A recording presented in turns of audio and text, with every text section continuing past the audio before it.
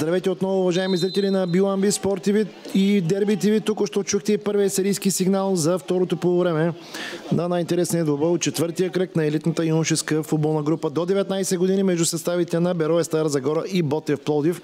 След първите 45 минути 1-0 за канарчета след попадението на Казаков в 9-та минута. Добре, ще различавате двата отбора на вашите екрани за тези от вас, които по-късно се включват в нашия ефир. Домакините от Беро е в зелен спортен екип, а Ботев в традиционното жълто и черно. Този матч е поверен на главния съдия Стефан Гурков от Сливен. Негови асистенти са Станимир Трифонов, първи асистент и от близката страна Христо Стоянов, а делегат и наблюдател на Българския футболен съюз Донка Желева от Стара Загора. Ето и двете 11 торки. Домакините от Ботев на вратата, т.е. гостите от Ботев на вратата с номер 99 Милко Баданов, пред него 6 Мартин Русев, капитан на отбора, 5 Николай Василев, 18 Танас Чернев, 11 Стефан Попов, 17 Бисер Бонев, 8 Пламен Цончев, 9 Георги Трифонов, 10 Иво Казаков, 7 Петър Итов и номер 11 Венцислав Богданов. Домакините от Беро е Стара Загора да проследим тази атака сега на жълто-черните. Трифонов и изправиха се тук старозагорци. Все още обаче разбъркване и топката най-сетне е изчистена. Беро е на вратата с номер 1 Радостин Георгиев. Пред него 71 номер Атанас Йорданов, 26 Георги Маджаров, 15 Виктор Ангелов, 3 Пламен Пенев, 20 Явор Баев, 8 Христомир Иванов, номер 10 капитана Божидар Пенчев, 27 Пламен Крислов, тук що видяхме и първия жъл картон, показан на Стефан Попов.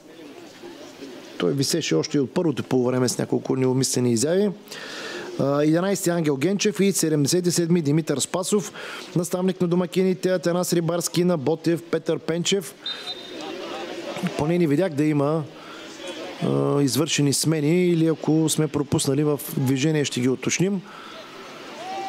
Резервните съдатели за Берое на вратата. Резервен вратар е Константин Чолаков с номер 23. Полеви играчи 13 Енрико Митев, 16 Атила Ахмет, 91 Христо Христов, 21 Тони Николов, 28 Пламен Андрей Апостолов и 2 Михаил Стоянов. За Ботев вратар на пейката е Християн Карастойков с номер 23. 14 Благовез Величков, 19 Юсин Касов, 4 Мерт Сали Мехмет и 2 Масар Кямил.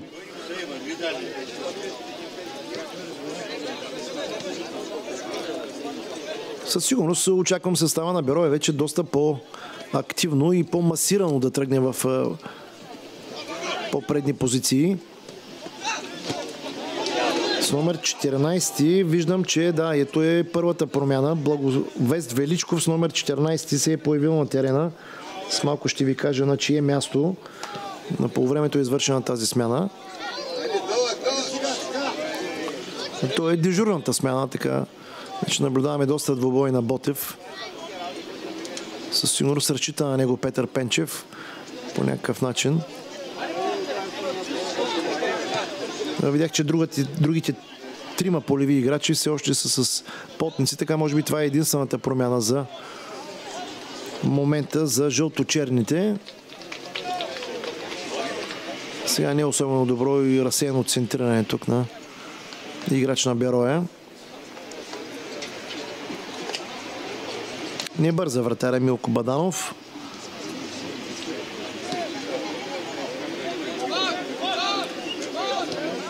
Навлизаме в 50-та минута на двобоя. Очаквам не само от Бероя, от Ботев доста по-активна игра и малко по-високо темпо вече и слънцето се скри. Не толкова горещо. Така че отличните условия, които предлагат домакините на стадион Локомотив, трябва да се възползват по най-добрия начин. Ако това е резервата с номер 14 за Ботев, влезе преди малко Благовез Величков, но не успя да направи нищо този път. Добре бе блокиран там от защитник в зелено. До момента отбора на Берой са 6 точки, след като стартира летящо в това първенство. През този сезон Старозагорци, още в първия кръг, победиха като гости Царско село с 3 на 1, а във втория надиграха Хебър с 4 на 1 и в третия допуснаха загуба от Лудогорец с 0 на 3 в гнездо на Орли в Разград. Среща, която отново наблюдавахте на живо в ефира на Биламби Спорт ТВ. Ботев пък стартира с равенство именно срещу Лудогорец в Разград. След това почиваше заради отказа на Дунав и в предишния кръг отново наблюдавахте този матч. Разгроми Витоша с 5 на 1. Освен тази среща, в която наблюдавате в момента, този четвърти кръг предлага още много интересни срещи. В момента се играят те. Монтана срещу Лодогорец, Нефтохимик, Бургас срещу Хебър, Черноморе срещу Царско село. Поне тук имам информация, че моряците ворят с 1 на 0 след първите 45 минути, но всичко най-интересно от тази среща отново ще наблюдавате в ефира на BioMB Sport TV, както и двобоя Пирин срещу Левски. Останалите три мача от този кръг са Национал срещу Локомотив Плодив, Славия срещу Септември и ЦСК срещу Сокол Марково. Трябваше да има пауза тази седмица заради националния отбор, но заради промяната, заради пандемията, постоянно се сменят дати от УЕФА, преместват се, отлагат се и затова освен този междинен кръг, четвъртия, тази уикенд има и още един кръг, пети кръг в събота и неделя. Така че отново в ефира на BioMB Sport TV в събота ще наблюдавате още един добър от този пети кръг от, пряко от Плодив, а в неделя е и срещата между съставите на Хебър Пазаржик и Черноморе Варна от 17 часа и 30 минути. И в събота, и в неделя очаквайте поредните двубои в елитната юношеска група до 19 години. Сега се връщаме на терена в тази 52 минута. Нова възможност за канарчета Бисер Бонев. Това статично положение. Прак свободен удар, но най-вероятно центриране с оглед на позицията. Всички са на границите на наказателното поле.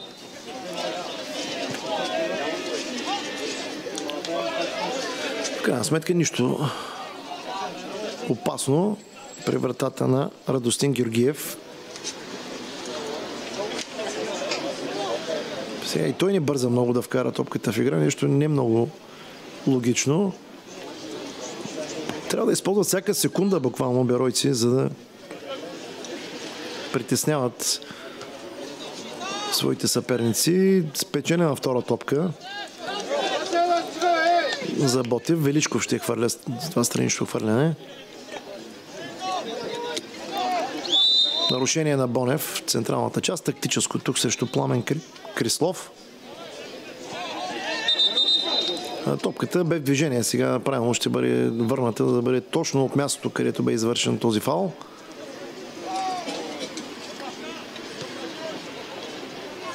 Капитана на домакените Бождар Пенчев. Чисто му бе отнята топката. Беройци, освен че трябва и по-масирано вече да атакуват, трябва и да внимават, разбира се, за опасните контри на плодивчани, тъй като едно второ попадение вече доста може да наклони везните в полза на Ботев.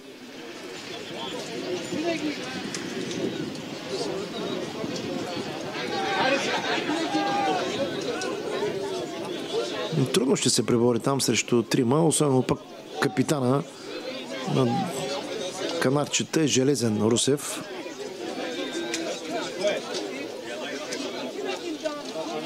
Не се получи сега тази атака и на Ботев, но доста нескопосано изчистване тук от страна на Георги Маджаров. В крайна сметка успяха да изнесат топката до макените. Навери се Чернев, вдигна крак пък Баев. И именно за тази негова постъпка, номер 20, Явор Баев получава и първи жълт картон за Берое. Равенство в картоните, след като и Стефан Попов от гостите вече има жълт картон.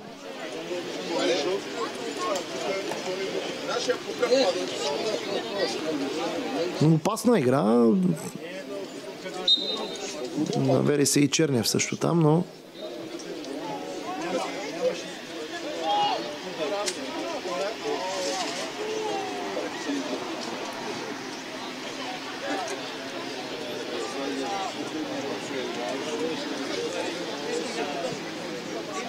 Сега не се справиха по най-добрия начин.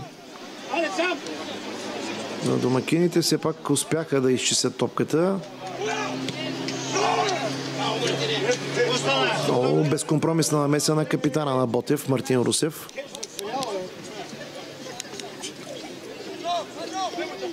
Десет минути от началото на това второ полувреме. Няма корена промяна в игровата постройка на двата отбора.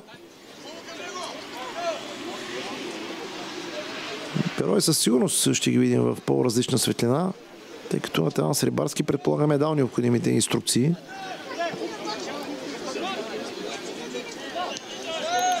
Сигурно ще търсят победата. Ботев сега по-прибрани. Отново високо вдигнат крак и отново още един жълт картон, най-вероятно, за играч на Берой. Точно така. Номер 11 го получава Ангел Генчев. В рамките само на минута Старозагорци получиха два жълти картона. Първо Баев, сега и Ангел Генчев. Много ще се наложи влизането на лекаря.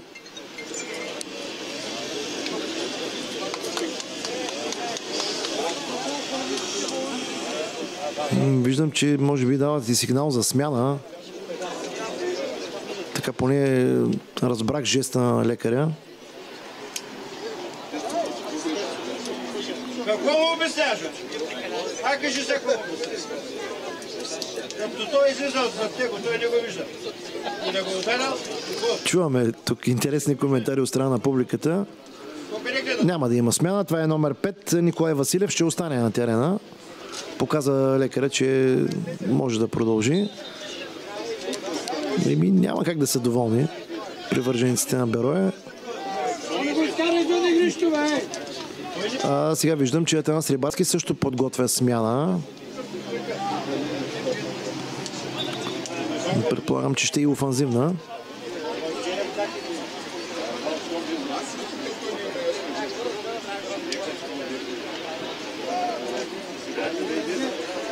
Много поредица от грешки тук в централната част.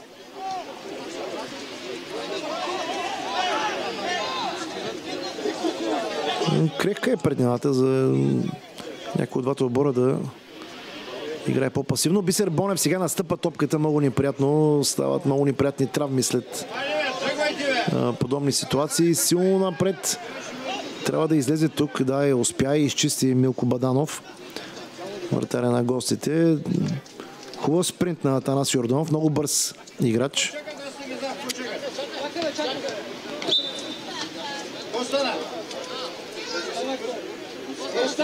Сарийски сигнал. Може би ще бъде извършена смяната в този момент.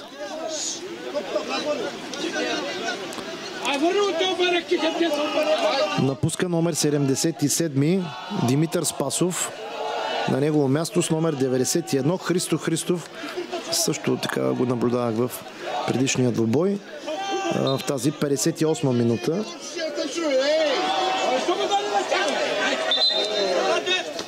Отбелязваме и смяна за Берое.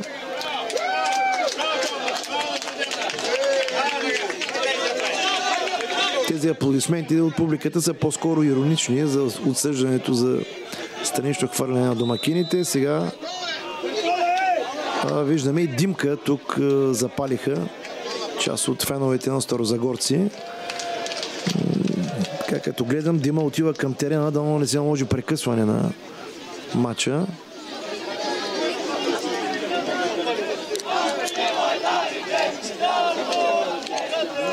Свободен удар за Бероя.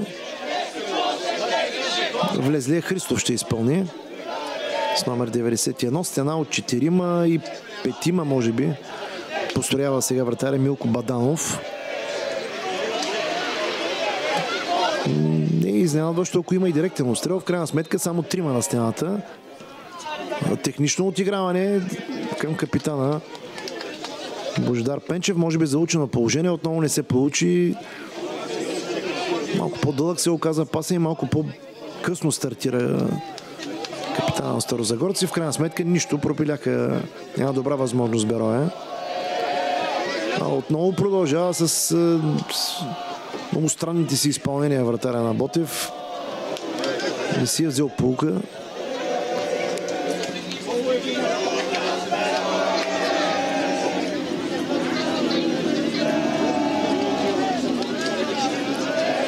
Доста рисковано отиграване. Виждаме, че не му се отдава по най-добрия начин играта с крака, но продължава да упорства.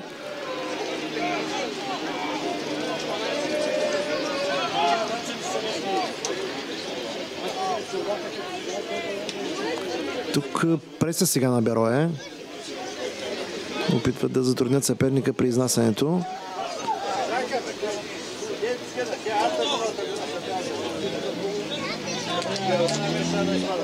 62-а минута на двобоя. Ами, аз лично очаквах доста по-агресивна игра от страна на старозагорци. Сега виждаме висока пресия от страна на Ботев. Веднага притисника съперника в собствената си половина. Трудно изнасят. Пламен Кресов се е върнал далеч назад. Цончев отнема чисто там към Бисер Бонев. Хубав пас към Трифонов, който се ядосва сега, но нямаше как бе по-благоприятна ситуация и заставане неговия преслонен съперник Йорданов. Много активен. Капитана Пенчев сега дали ще центрира. Оглежда се. Много към Йорданов.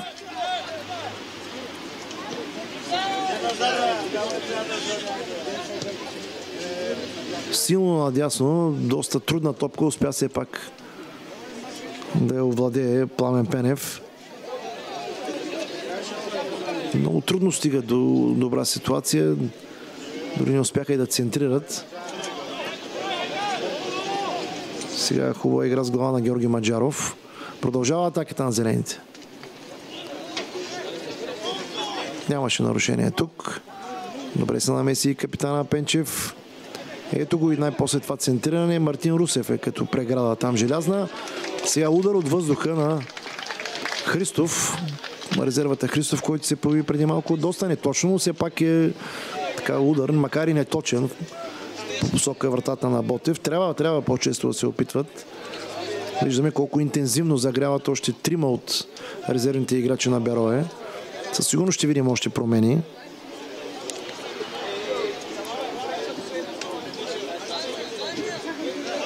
Тъч за Ботев.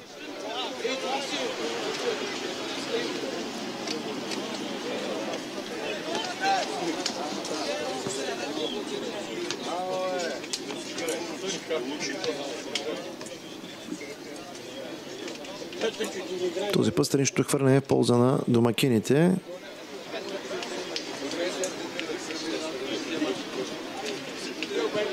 които се надявам в следващите минути така, да упражнят някакъв натиск.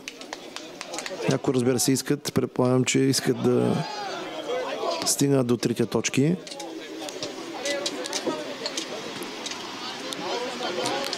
По една смяна в двата обора и по един жълт картон т.е. два вече. Два бяха показани на Баев и на Генчев от зелените и на Попов от жълто-черните. Няма много работа главният съдия. Сега се справя Стефан Горков от Сливен, заедно неговите асистенти под зоркото око на Донка Желева, делегата и наблюдател на Българския футболен съюз.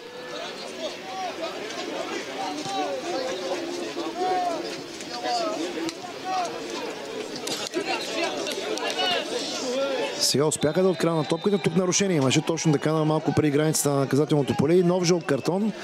А, така, по осанката доста над всички стърчи. Мисля, че е Чернев с номер 18. Точно така.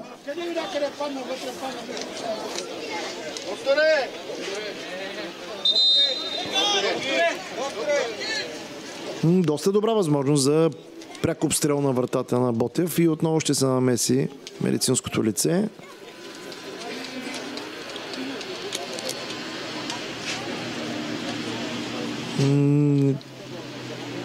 Виждам, да, че няма падна играч, но се държи за Глезена. Номер 27, Пламен Крислов. А капитана, най-вероятно, Бождар Пенчев, може да се превърне в герой за своя тим. Почти на линията на наказателното поле и за един играч с силен ляв крак. На майсторско изпълнение може да доведе до радост в зелено. Да видим сега. Доста специална стена строят Ботев. Виждаме както и модерно зад стената играч Колиничо да не би, когато скочат топката да мине под стената. Да видим сега хубаво изпълнение, но метър над напречната града. Като замисъл добре, но като изпълнение не особено. Така, в тази 65-та минута Берое пропиля още един шанс да стигне до попадение. Смяна сега състава на гостите. Напуска играча, който има жъл картон, Стефан Попов. Ще бъде заменен от номер 19, също дежурна смяна Юсин Касов.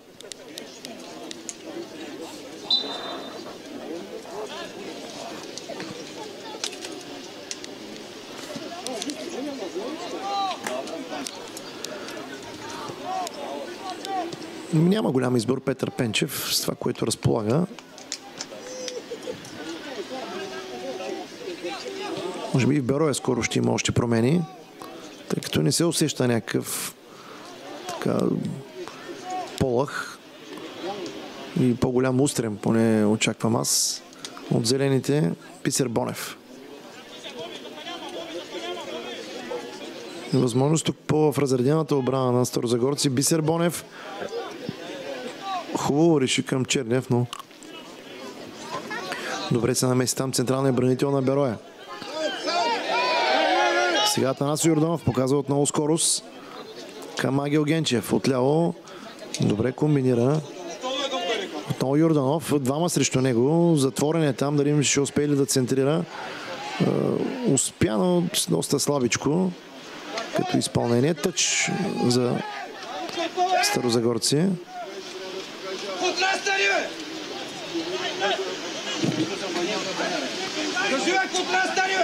Капитан Пенчев сега ще много наивно реши да отнеме топката, но пък не се справи добре и върнали се да помага на отбраната Георги Трифонов. Отново капитан на Старозагорци. Ами, добре са се пакетирали, така бих казал. Защитават се жълто-черните и няма много празни пространства и подстъпи към вратата.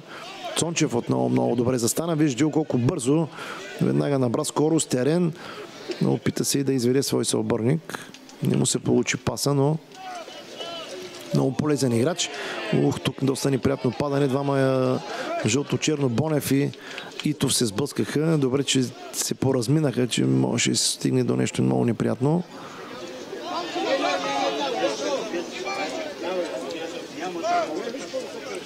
Ми преполови се и това второ по време.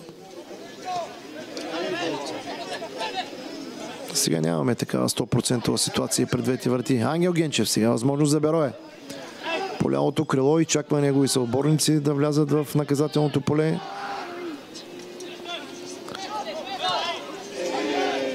Отново грешно подаване. Бисер Бонев между трима.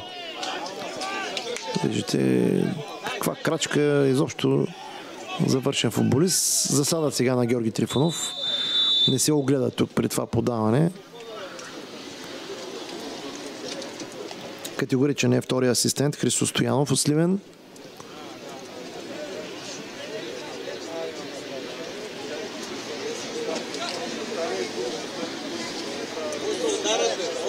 Малко повече от 20 минути на разположение на двата отбора да стигнат до нови попадения. със сигурност по-доволни ще са гостите след попадението на Иво Казако в 9-та минута. Томо Генчев. Към Христомир Иванов. Понастаника се по-трайно в половината на Ботев, но за сега няма ситуации. То отново неточен пас към Явор Баев. Добре, че последния момент защитник на Ботев протегна крак и така не се огледа. Изчисти топката и нов шанс за домакените от Берое. Капитана Бождар Пенчев се запътва да изпълни този ъглов удар вдясно от вратата на Ботев. Трима, чети, петима в зелено са в наказателното поле на гостите.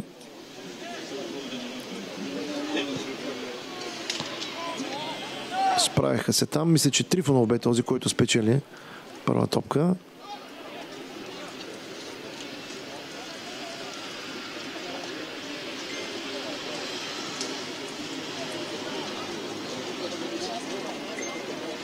Странично хвърляне, полза на домакините от Берове Стара Загора.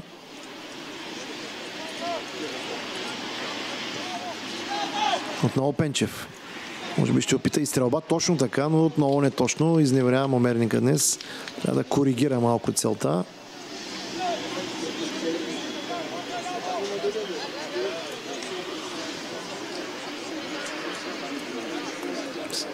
Седемдесет и първа минута вече на тази среща.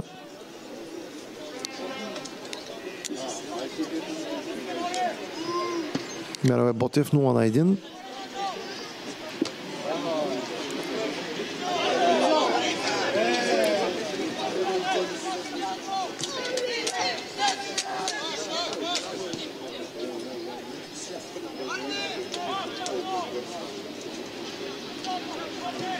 Чернев. Добър пас напред. Тук нямаше нарушение, но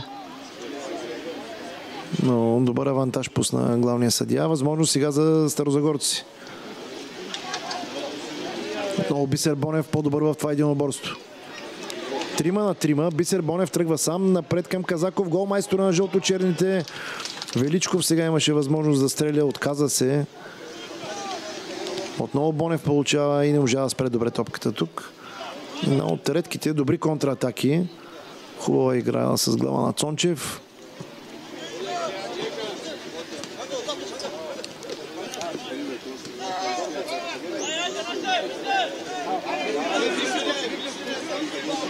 Йорданов. Вижда къде се е изтеглил Назаре, капитана на домакените. С номер 10. Сам срещу трима тръгва на индивидуален пробив. Добре влиза тук в наказателното поле. И падна, но нямаше съприкосновение. Съприкосновение загуби равновесие тук. Хубав пробив. Сега опасна игра на играч на Берое. Но не чухме серийски сигнал. Той е сблъсък.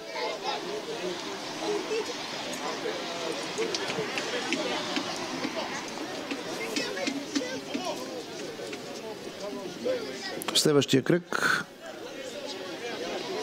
Отбора на Берой ще гостува на Витуша, а Ботев е домакин на Монтана, така че сравнително лесни двубои имат след няколко дни.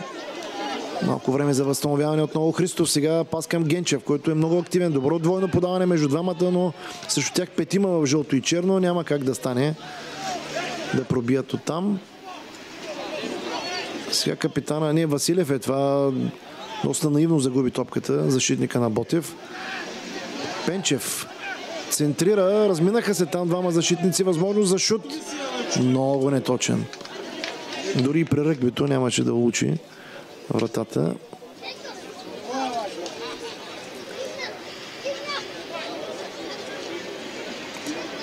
И все по-малко време. Сега виждаме, че доставиха му топката буквално до място за изпълнение на вратаря Милко Баданов, който използва всички възможни, за сега възможни позволени средства да бави играта, макар че твърде, твърде рано още има 15 минути, че и повече.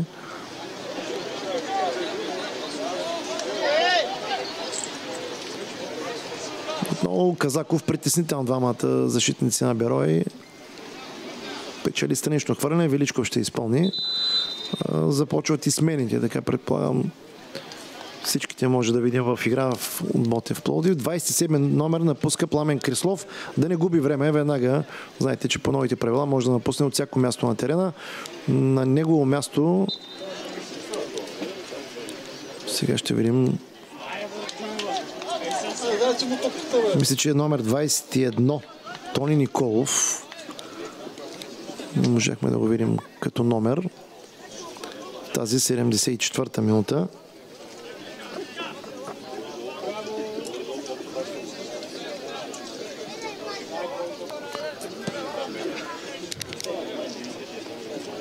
Сега не точно вкарана от вратаря пък Радостин Георгиев топка. Без да го притеснява никой.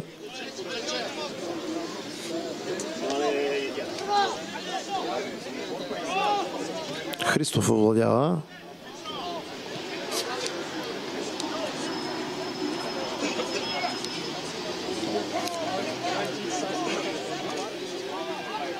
Невлезлият играч не е Тони Николов, а е Пламен Андрея Апостолов с номер 28. Който също се включи в така атакуващия овал на домакините.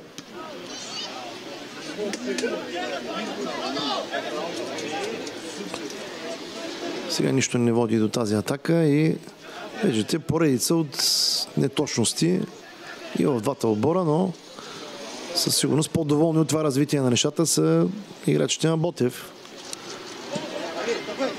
След ранното попадение на Иво Казаков.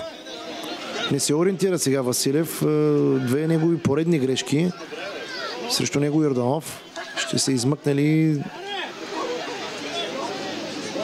продължава да задържа срещу него Бонев. Ето видите колко елементарно и леко му отне топката. А, тук здрав сблъсък. Нарушението е извършено от играч на домакините срещу Итов. Отново ще се наложи да 15 номер Виктор Ангелов е този, който наруши правилата. Няма да има картон, само с устна забележка ще се размине.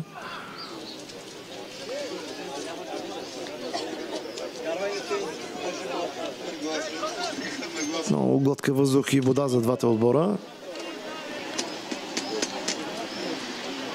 Доста километраж на въртя и медицинското лице в случая.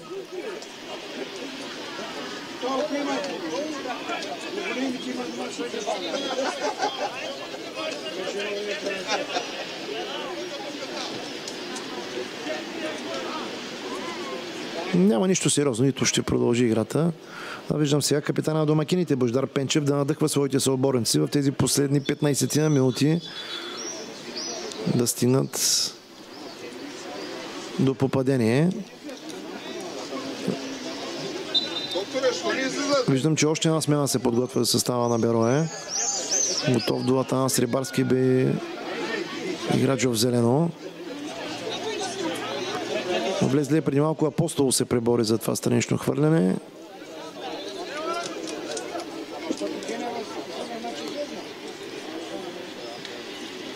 Христов забави се там, замота се и виждате, много са принудени. Много добра техника тук на Христомир Иванов.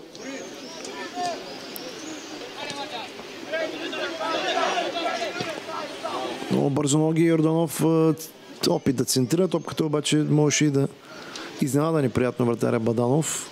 Но сочи се опасно под напречната града. В крайна сметка мина над нея.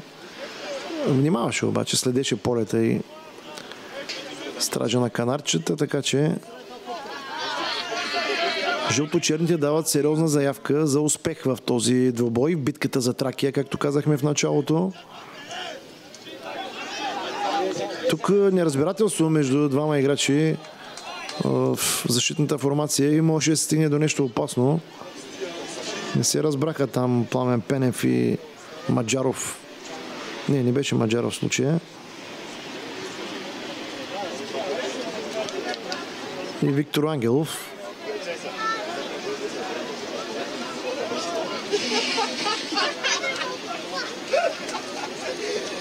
Малко повече от 10 минути до края на този матч, в който Бора на Ботев е определено по-близко до третия точка, отколкото Беро е. Аз очаквах много повече от това второ по време, но сега отново закачка между част от публиката на Берое и капитана на Ботев. Русев и той ще бъде предупреден устно. Пред първото по Стефан Попов имаше такава. Явно така, получават някои не много приятни за тях епитети от феновете на зелените, но би трябвало да са свикнали вече. Не, че е нормално.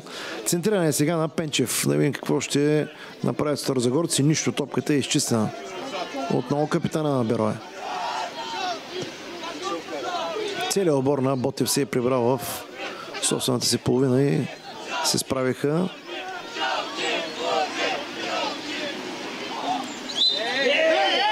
Нарушение срещу Бисер Бонев в централната част на терена. 80-та минута на тази среща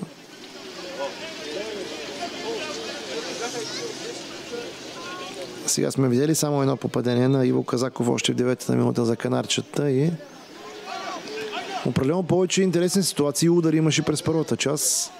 През втората явно и докато за Ботев е по-разбираемо да приемат играта в се половина, по-предпазливо да разчитат на контри, доста повече агресия трябваше да видим в състава на Бероя и опасни ситуации пред вратата на Ботев. Няма такива, освен няколко балонни центрирания.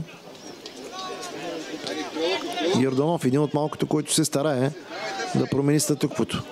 Ето го резервата Апостолов сега. Пас по земя, в централно само един играч на Беро имаше в тази част на полето. Казаков между двама се измъкна. Бонев сега задържа. Голмайстора на канарчета тук. Загуби топката. Величков обаче успя да я добута до свой съоборник. Виждате, грешка след грешка. И в двата обора индивидуален пробив сега възможност за Бероя. Двойно подаване между Генчев и включилия се Пламен Пенев. Не се получи. Отново Генчев. А, смениха си местата. Генчев вляво и в дясно, така вариативен.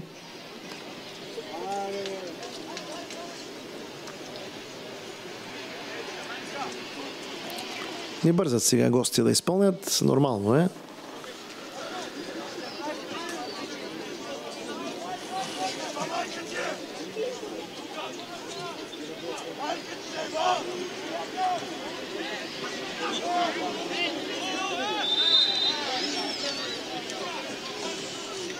Отново серийски сигнал.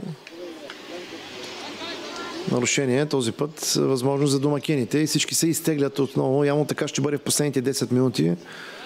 Събитията основно ще се развиват пред вратата на Ботев.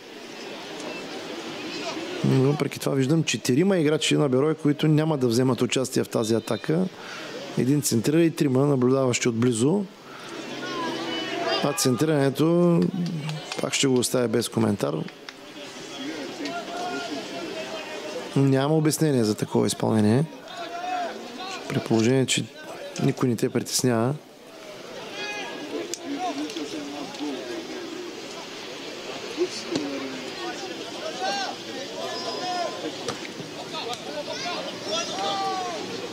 Отново Йорданов спечели първа топка към капитана Пенчев, който също много се раздаде този двобой. Ето Генчев сега от дясно наляво. Няма засада. Възможност за прострелно подаване направи го, но отново Чернев е изпреварва. Играча в зелено. Може, имаше възможност да влезе още няколко метра напред Йорданов. Реши обаче да подава веднага. Христо ще изпълни този ъглов удар вляво от вратата на Ботев. Минутата е вече 84-та. Отскочи топката, възможност за добавка. Бонев застава там като стена. Също него Христов много бърз. Трети човек вече. Също играча с номер 17. Нямаше нарушение на правилата, но отново показа добри технически умения и възможности.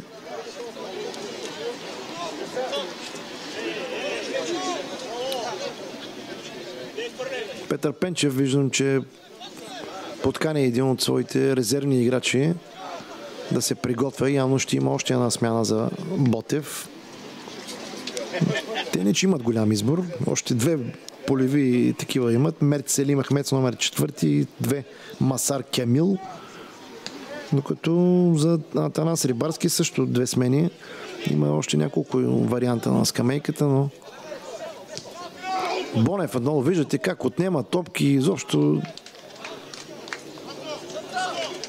много според мен ще претендира за играч на матча. Сега най-вероятно той ще изпълни този аглов удар дясно от вратата на Радостин Георгиев.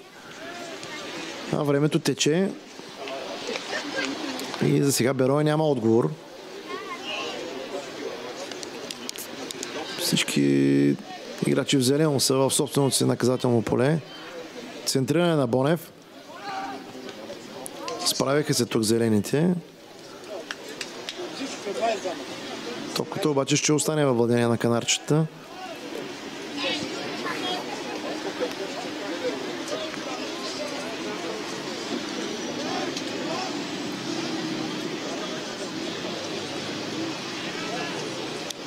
Пет минути до края на редовните 90. Берое Ботев 0 на 1. Сега възможност за гости на засада. Засада е оценена тук. Така, доста убедително бе вдигнал флага. А, мисля, че Цончев бе човека, който проби и бе в положение офсайд.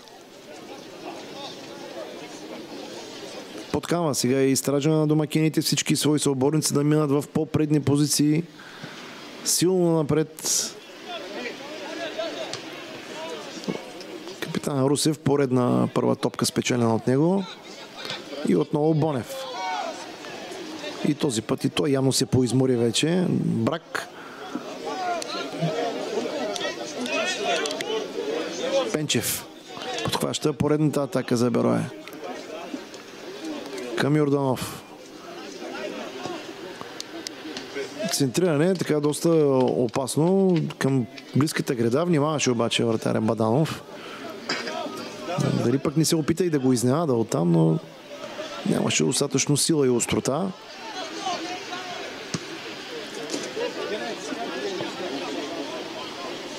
Точно там изпрати топката, където нямаше нито един негов съотборник вратаря на канарчета.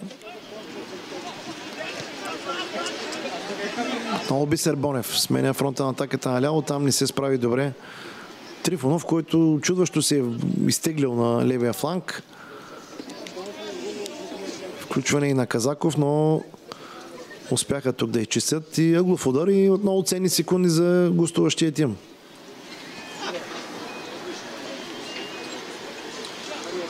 Не бърза Бисер Бонев. Трима, а сега виждам още двама. Високия Чернев и Русев, също и Василев. Добре играят с глава. Технично пропуснаха там топката старозагорци. Трифонов с пета се опита да продължи назаре.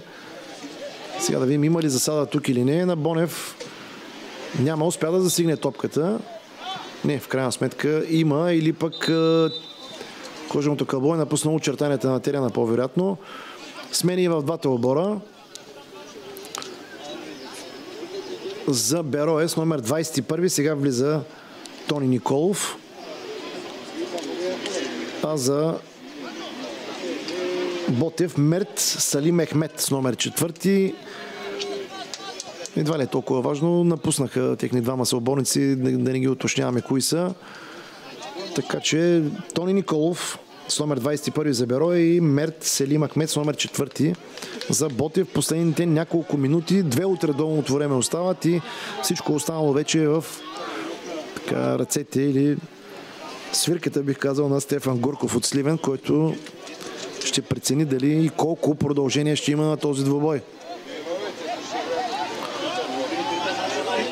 Ботев Плодив се е близо до важни три точки в тази битка за Тракия. Бърза и наставника на бюро, виждате, Рибарски веднага подава топката по-бързо дори от момчетата, които са край терена. Но няма как без точен удар да застрашиш вратата на съперника, камо ли да отбележиш гол. Трипанов сега. Опит за технично извеждащо подаване или удар, нищо не се получи. Възможност за Беро една от последните. Трябва да се позабързат малко играчите в зелено, ако искат да стигнат до нещо по-сериозно пред вратата. Сега абсолютно несериозно пък от изпълнение от страна на Тони Николов. Много слаб удар и неточен. Ми нямат идея. Да, зелените сега възможност центриране и ъглов удар и като че ли това ще бъде вече 90-та минута, може би последен шанс за Берое да стигне поне до изравнително попадение. Целият обор на Ботев, така, бъдете сигурни, че вече е пред полето. Дори Иво Казаков. Но пък интересно, че не виждам целият обор на Берое. Няма какво да рискуват или да пазят случая. Кой ще изпълни този ъглов удар?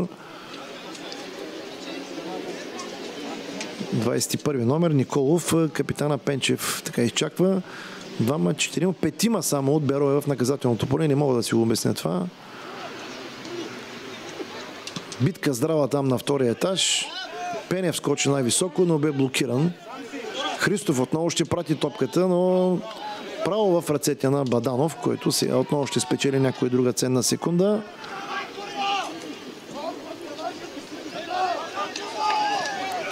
Изтече редовното време. Вече единствено само главният съдия Стефан Гурков Ослимен знае кога ще приключи този двобой. Добре се справи стража на домакините. Ще имат ли време за още атака? Ето разконцентрирана игра тук. На играч зелено и Ботев естествено не бързат. Разсейват се да изпълнят този тъч.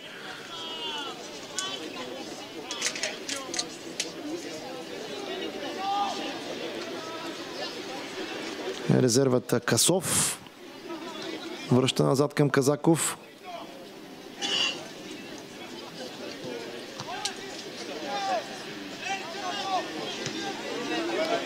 Далечен шут, по-скоро да се отърве от топката. Играч на Ботев е изпрати в аут.